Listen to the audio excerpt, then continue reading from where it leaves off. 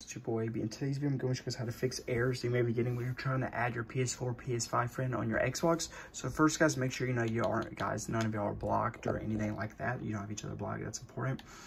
Make sure guys on the Xbox app, go to Privacy, Online Safety, Xbox Privacy, View Details, Communication, and have crossplay enabled. And then you guys, to add your PS4, PS5 friend, go to Microsoft Edge, or you guys can use the mobile apps on your phone. That's also an easy way.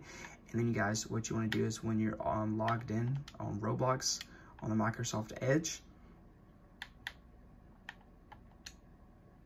you just want to search up the person's name at the top and go to people. And then you just send them a friend request like this. And then on the PS4, PS5 version of Roblox, you also too want to make sure crossplay is enabled. That is very important.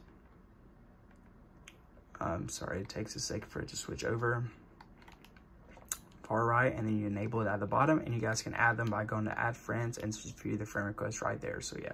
If that doesn't work make sure you guys are like i said typing it in correctly. If not contact the support team. So i hope you guys enjoyed this video and i'm out. Peace